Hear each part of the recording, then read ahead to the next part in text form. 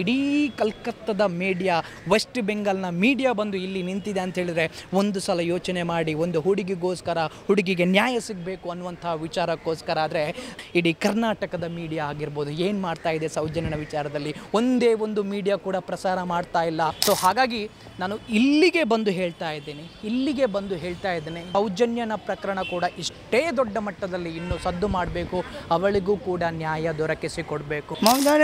Third class ಘಟಿ घटिया का आदमी है बोल रहा है दस लाख रुपया देगा विक्टिम को ममता बनर्जी बोल रहा है लौटा दे मेरे दीदी को लौटा दे दस कटी दूँगा दस कटी that justice has yet not been served and we'll strive and we'll protest till that is done and we want safety at our ca- campus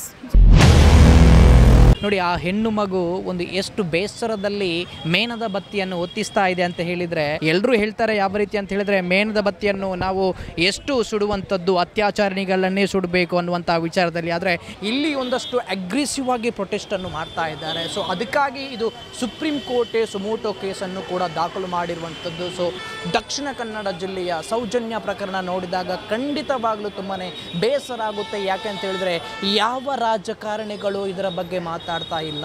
ಹೋರಾಟ ಮಾಡೋಕೆ ಬರುವವರನ್ನು ಅವರು ಹೀಯಾಳಿಸ್ತಾ ಇದ್ದಾರೆ, ತೇಜೋವಧಿ ಮಾಡ್ತಾ ಇದ್ದಾರೆ. ಕೋಲ್ಕತ್ತಾದ ಜನರು ಸುಪ್ರೀಂ ಕೋರ್ಟಿಗೂ ಕೂಡ ಮುಟ್ಟುವಾಗೆ ಪ್ರೊಟೆಸ್ಟ್ ಮಾಡಿ ಇಲ್ಲಿಯ ಚಾನಲ್ಗಳು ತಮ್ಮ ಚಾನಲ್ನ ಕೆಲಸವನ್ನು ನಿಷ್ಠೆಯಿಂದ ಮಾಡಿ ಸುಪ್ರೀಂ ಕೋರ್ಟಿಗೂ ಮುಟ್ಟಿಸುವಂಥ ಪ್ರಯತ್ನವನ್ನು ಕೂಡ ಮಾಡಿದ್ದಾರೆ. ಅದಕ್ಕೋಸ್ಕರ ಇಷ್ಟು ದೊಡ್ಡ ಮಟ್ಟದಲ್ಲಿ ದೇಶಾದ್ಯಂತ ಪ್ರತಿಭಟನೆ ಕೂಡ ನಡೆಯುತ್ತಾ ಇದೆ. ದೇಶಾದ್ಯಂತ ಪ್ರತಿಭಟನೆ ಕೂಡ ನಡೀತಾ ಇದೆ. ಧರ್ಮಸ್ಥಳ ಸೌಜನ್ಯ ಕೇಸಲ್ಲಿ ಯಾರೂ ಕೂಡ ಮಾತಾಡ್ತಾ ಇಲ್ಲ. ಯಾವ ಕನ್ನಡ ಚಾನಲ್ ಕೂಡ ಮಾತಾಡ್ತಾ ಇಲ್ಲ. ಯಾಕೆ ಅಂತ ಹೇಳಿದರೆ ಅದರಲ್ಲೂ ಕೂಡ ದೊಡ್ಡ ವ್ಯಕ್ತಿ ಇದ್ದಾರೆ. ಬರೀ ಸಂತೋಷ್ ರಾವ್ ಅಲ್ಲ ಹೈಕೋರ್ಟ್ನ ಜಡ್ಜ್ಮೆಂಟಲ್ಲಿ ಇದೆ. There is absolutely there is no evidence connect with the accused ಅನ್ನುವಂಥ ವಿಚಾರದಲ್ಲಿ. ಸೊ ಹಾಗಾದರೆ who is the accused who raped Sowjanya ಅಂತೇಳಿದರೆ ಸಂತೋಷ್ ರಾವ್ ನಿರಪರಾಧಿ ಅಂಥೇಳಿ ಬಂದ ತಕ್ಷಣ ಯಾವುದೇ ಧ್ವನಿಯನ್ನು ಕೂಡ ಎತ್ತಿಲ್ಲ. ಸೊ ಹಾಗಾಗಿ ಒಂದು ವೇಳೆ ಧ್ವನಿ ಎತ್ತಾ ಇದ್ದರೆ ಅವರು ಒಂದಷ್ಟು ಡಿಬೇಟ್ ಮಾಡ್ತಾ ಇದ್ದರೆ ಚರ್ಚೆ ಮಾಡ್ತಾ ಇದ್ದರೆ ಸೌಜನ್ಯ ಪ್ರಕರಣವನ್ನು ಕೂಡ ಸುಪ್ರೀಂ ಕೋರ್ಟ್ ಸುಮೋಟ ಕೇಸನ್ನಾಗಿ ದಾಖಲು ಮಾಡ್ತಾ ಇತ್ತು. ಇಡೀ ಕಲ್ಕತ್ತದ ಮೀಡಿಯಾ ವೆಸ್ಟ್ ಬೆಂಗಾಲ್ನ ಮೀಡಿಯಾ ಬಂದು ಇಲ್ಲಿ ನಿಂತಿದೆ ಅಂತ ಹೇಳಿದರೆ ಒಂದು ಸಲ ಯೋಚನೆ ಮಾಡಿ, ಒಂದು ಹುಡುಗಿಗೋಸ್ಕರ, ಹುಡುಗಿಗೆ ನ್ಯಾಯ ಸಿಗಬೇಕು ಅನ್ನುವಂಥ ವಿಚಾರಕ್ಕೋಸ್ಕರ ಆದರೆ ಇಡೀ ಕರ್ನಾಟಕದ ಮೀಡಿಯಾ ಆಗಿರ್ಬೋದು ಏನು ಮಾಡ್ತಾ ಇದೆ ಸೌಜನ್ಯನ ವಿಚಾರದಲ್ಲಿ ಒಂದೇ ಒಂದು ಮೀಡಿಯಾ ಕೂಡ ಪ್ರಸಾರ ಮಾಡ್ತಾ ಇಲ್ಲ. ಜೋಡಿ ಆನೆ ಮಾವುತನ ಕೊಲೆಯಾಯಿತು. ಅದರಲ್ಲೂ ಕೂಡ ಯಾರು ಧ್ವನಿ ಎತ್ತಾ ಇಲ್ಲ. ಸೊ ಹಾಗಾಗಿ ನಾನು ಇಲ್ಲಿಗೆ ಬಂದು ಹೇಳ್ತಾ ಇದ್ದೀನಿ. ಇಲ್ಲಿಗೆ ಬಂದು ಹೇಳ್ತಾ ಇದ್ದೇನೆ.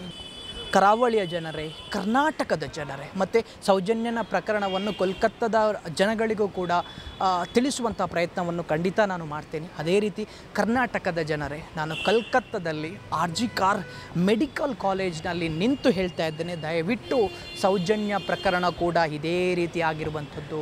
ದೊಡ್ಡ ವ್ಯಕ್ತಿಗಳು ಶಾಮೀಲಾಗಿದ್ದಾರೆ, ಸೊ ಅದಕ್ಕೋಸ್ಕರ ಅದನ್ನು ಮುಚ್ಚಿಸಿ ಹಾಕುವಂಥ ಪ್ರಯತ್ನವನ್ನು ಕೂಡ ಮಾಡಿದ್ದಾರೆ. ದೊಡ್ಡ ವ್ಯಕ್ತಿಗಳು ಶಾಮೀಲಾಗಿದ್ದಾರೆ ಅನ್ನುವಂಥ ಉದ್ದೇಶದಿಂದ ಸೊ ಇಲ್ಲೂ ಕೂಡ ಒಂದಷ್ಟು ದೊಡ್ಡ ವ್ಯಕ್ತಿಗಳ ಕೈವಾಡ ಇದೆ ಅಂತೇಳಿ ಇಡೀ ಕೋಲ್ಕತ್ತನೇ ಮಾತಾಡ್ತಾ ಇದೆ. ಸೊ ಅದಕ್ಕೋಸ್ಕರ ಅದನ್ನು ಮುಚ್ಚಿ ಹಾಕಿಸುವಂತಹ ಪ್ರಯತ್ನ ಮಾಡಿದ್ದಾರೆ ಅಂತೇಳಿ. ಸೊ ಹಾಗಾಗಿ ಈ ದೊಡ್ಡ ವ್ಯಕ್ತಿಗಳು ಅತ್ಯಾಚಾರ ಮಾಡಿ, ಕೊಲೆ ಮಾಡಿ ಬಿಸಾಡ್ತಾರೆ ಅಂತ ಹೇಳಿದರೆ ಅವರಿಗೆ ಕಾನೂನಿನ ಭಯವೇ ಇಲ್ವಾ? ಅಥವಾ ಪೊಲೀಸರ ಭಯವೇ ಇಲ್ವಾ? ಇವರುಗಳಿಗೆ ಭಯ ಹುಟ್ಟಬೇಕು ಅಂತ ಹೇಳಿದರೆ ಅವರಿಗೆ ತಕ್ಕ ಶಿಕ್ಷೆ ಆಗಲೇಬೇಕು. ಹನ್ನೆರಡು ವರ್ಷದಿಂದ ಕರಾವಳಿಗರು ಹೋರಾಟ ನಡೆಸ್ತಾ ಇದ್ದಾರೆ.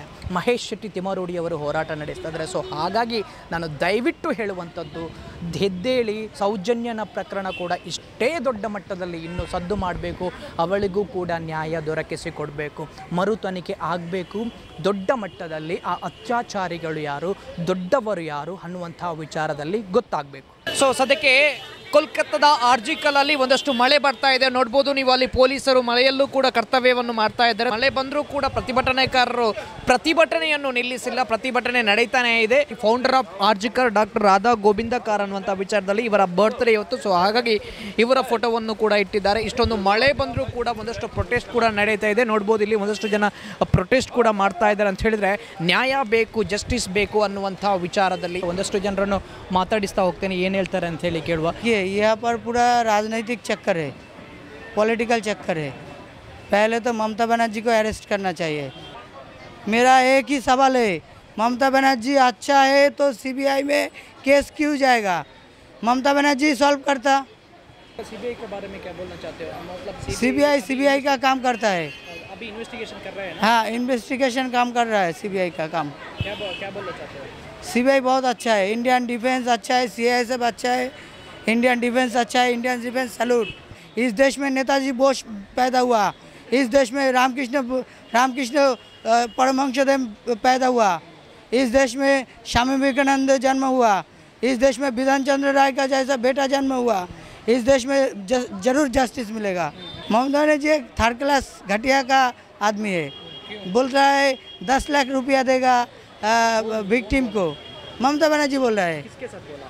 सर विक्टिम को बोल रहा है विक्टिम विक्टिम को फैमिली को बोल रहा है दस लाख रुपया देगा। क्यों? क्यों दस लाख? विक्टिम दस लाख दस लाख दे के उसको अ, अ, सांत्वना मिलेगा। मैं बोलता हूँ उसको दस कटी दूँगा। लौटा दे मेरे दीदी को लौटा दे। दस कटी दूँगा दस कटी। दीदी को मारता है कोई तो, तो गुस्सा होना था पड़ता है। एक डॉक्टर मरा है।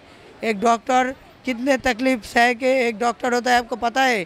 उसको पापा का सेक्रीफाइस उसके भाई की सेक्रीफाइस उसकी मम्मी की सेक्रीफाइस उसकी दोस्तों को सेक्रीफाइस कभी भी मिलने जाना नहीं नहीं पड़ता है अड्डा नहीं दे सकता घूमने नहीं जा सकता। तो कितना दर्द सह के एक डॉक्टर होता है। Sir what will you say about the crime are you happy with the C B I investigation see we have full faith in C B I से investigation we wanted uh, from the first place, uh, first demand, uh, we wanted CBI inquiry over this case. Yes, as I said earlier, we have full confidence in the CBI investigation for now. Yesterday they have give, uh, submitted some statement for the Supreme Court. Are you happy with that? That Yes. they, they that, that they were saying uh, Santosh uh, Sanjoy Rao only the culprit. Are you happy with that? We are not entirely sure that it, uh, it has been done by only one person. Uh, there is significant doubt that uh, there could be multiple preparators for this crime, that this heinous crime that took place uh, in our uh, college premises. No, I'm a student. Yeah. No, a UG student. Justice that justice has yet not been served, and we'll strive and we'll protest till that is done, and we want safety at our ca- campus. Just that. Yeah, obviously we can't stay at campus for long, even if we want to protest because of the mob attack that happened. RG Kar hospital ಎಷ್ಟು ದೊಡ್ಡ ಮಟ್ಟದಲ್ಲಿ ಇದೆ ಅನ್ನುವಂಥ ವಿಚಾರದಲ್ಲಿ ನಾವು ನ್ಯೂಸಲ್ಲೆಲ್ಲ ನೋಡಬೇಕಾದ್ರೆ ಆರ್ಜಿಕಲ್ hospital ಬರೀ ಚಿಕ್ಕದು ಅನ್ನುವಂಥ ವಿಚಾರದಲ್ಲಿ ನಾವು ತಿಳ್ಕೊಂಡಿದ್ವಿ ಇಲ್ಲಿಂದ ನೋಡಿದರೆ ಗೊತ್ತಾಗುತ್ತೆ ಇಲ್ಲಿಂದ ಪ್ಯಾನ್ ಮಾಡಿದರೆ ಗೊತ್ತಾಗುತ್ತೆ ಇಲ್ಲಿಂದ ಹಿಡಿದು ಎಷ್ಟು ದೊಡ್ಡ ಮಟ್ಟದಲ್ಲಿ ಇದೆ ಆರ್ಜಿಕರ್ ಹಾಸ್ಪಿಟಲ್ ಅನ್ನುವಂಥದ್ದು ಸೊ ಉದ್ದಕ್ಕೆ ನೀವು ಪ್ಯಾನ್ ಮಾಡಿದರೆ ನೋಡಿ, ಗೊತ್ತಾಗುತ್ತೆ. ಕಂಪ್ಲೀಟ್ ಆಗಿರುವಂಥದ್ದೇ ಆರ್ಜಿಕರ್ ಹಾಸ್ಪಿಟಲ್ ಸೊ ಅದರಲ್ಲಿ ಇರುವಂಥದ್ದು ಎಮರ್ಜೆನ್ಸಿ ಎಂಟ್ರಿ ಮತ್ತು ಎಮರ್ಜೆನ್ಸಿ ಸೆಂಟರ್ ಎಲ್ಲ ಇದೆ. ಅದರಲ್ಲಿ ಬೇರೆ ಬೇರೆ ಡಿಪಾರ್ಟ್ಮೆಂಟ್ಗಳು ಕೂಡ ಇದೆ. ಇಷ್ಟು ದೊಡ್ಡ ಆರ್ಜಿಕರ್ ಹಾಸ್ಪಿಟಲಲ್ಲಿ ಎಷ್ಟು ಜನ ಕೆಲಸ ಮಾಡ್ತಾ ಇರ್ಬೋದು ಅನ್ನುವಂಥ ವಿಚಾರದಲ್ಲಿ ಒಂದು ಸಲ ಯೋಚನೆ ಮಾಡಿ ನೋಡಿ. ಈ ರೀತಿ ಡಾಕ್ಟರ್ಸ್ಗೇ ಆದರೆ ಡಾಕ್ಟರ್ಸ್ಗೇ ಈ ರೀತಿ ಸೇಫ್ಟಿ ಇಲ್ಲ ಅಂತ ಹೇಳಿದರೆ ಮತ್ತು ಯಾರಿಗೆ ಸೇಫ್ಟಿ ಸಿಗುತ್ತೆ ಅನ್ನುವಂಥ ವಿಚಾರದಲ್ಲಿ ಮತ್ತು ಡಾಕ್ಟರ್ಸ್ ನಮ್ಮ ಪ್ರಾಣವನ್ನು ಯಾವ ರೀತಿ ಕಾಪಾಡುವಂಥದ್ದು ಡಾಕ್ಟರ್ಸನ್ನೇ ಈ ರೀತಿ ಅತ್ಯಾಚಾರ ಮಾಡಿ, ಹಲ್ಲೆ ಮಾಡಿ, ಕೊಲೆ ಮಾಡಿ ಬಿಸಾಕ್ತಾರೆ ಅಂತ ಹೇಳಿದರೆ ಡಾಕ್ಟರ್ಸ್ನ ಪ್ರಾಣ ಕಾಪಾಡೋರು ಯಾರು? ಹಾಗಾದರೆ ನಮ್ಮ ಪ್ರಾಣವನ್ನು ಕಾಪಾಡಬೇಕು? ಏನಾದರೂ ತೊಂದರೆ ಆದರೆ ಅದು ಡಾಕ್ಟರ್ಸ್ಗಳು. ಆದರೆ ಡಾಕ್ಟರ್ಸ್ಗಳಿಗೆ ಪ್ರಾಣಕ್ಕೆ ಭಯ ಇದೆ. ಅನ್ನುವಂಥ ವಿಚಾರದಲ್ಲಿ ಇದ್ದರೆ ಯಾರು ಕಾಪಾಡ್ತಾರೆ? ಸೊ ಹಾಗಾಗಿ ಸುಪ್ರೀಂ ಕೋರ್ಟ್ ಕೂಡ ಒಂದಷ್ಟು ಒಳ್ಳೆಯ ತೀರ್ಮಾನವನ್ನು ಕೂಡ ತೆಗೆದುಕೊಂಡಿದೆ ಅಂತ ಹೇಳಿದರೆ, ಒಳ್ಳೆಯ ಆದೇಶವನ್ನೇ ಕೂಡ ಹೊರಡಿಸಿದೆ. ಯಾವ ರೀತಿ ಅಂತ ಹೇಳಿದರೆ, ಅಲ್ಲಿ ಸಿ ಸಿ ಕ್ಯಾಮರಾ ಹಾಕಬೇಕು ಡಾಕ್ಟರ್ಸ್ಗಳಿಗೆ ಒಂದಷ್ಟು ಫೆಸಿಲಿಟಿಯನ್ನು ಕೊಡಬೇಕು ಅನ್ನುವಂಥ ವಿಚಾರದಲ್ಲಿ, ಮತ್ತು ಡಾಕ್ಟರ್ಸ್ಗಳ ಸೇಫ್ಟಿ ವಿಚಾರದಲ್ಲೂ ಕೂಡ ನೋಡಬೇಕು ವಾಚ್ಮ್ಯಾನ್ ಇರಬೇಕು, ಮತ್ತು ಮೂವತ್ತಾರು ಗಂಟೆಗಳ ಕಾಲ ಕೆಲಸ ಮಾಡಬಾರ್ದು ಅನ್ನುವಂಥ ವಿಚಾರದಲ್ಲಿ. ಸೊ ಒಂದಷ್ಟು ಬದಲಾವಣೆ ತಂದಿದ್ದಾರೆ ಅದು ಈ ಅಭಯ, ಕೋಲ್ಕತ್ತಾದ ಅಭಯದಿಂದಾಗಿ ಅಂತ ಹೇಳಿದ್ರು ಕೂಡ ತಪ್ಪಾಗಲಿಕ್ಕಿಲ್ಲ. ಎಲ್ಲರೂ ಕೂಡ ಕಾಯ್ತಾ ಇದ್ದಾರೆ. ಯಾವ ರೀತಿ ಅಂತ ಹೇಳಿದ್ರೆ ಇನ್ನು ಸೆಪ್ಟೆಂಬರ್ ಐದಕ್ಕೆ ಮತ್ತೊಮ್ಮೆ ಹಿಯರಿಂಗ್ ಇದೆ. ಯಾವ ರೀತಿ ಸಿ ಬಿ ಐ ಮತ್ತೊಮ್ಮೆ ವರದಿ ಸಲ್ಲಿಸುತ್ತೆ? ಆ ಹಿಯರಿಂಗಲ್ಲಿ ಸುಪ್ರೀಂ ಕೋರ್ಟ್ ಏನು ಹೇಳುತ್ತೆ ಅನ್ನುವಂಥ ವಿಚಾರದಲ್ಲಿ ಕಾದು ನೋಡಬೇಕಾಗಿದೆ.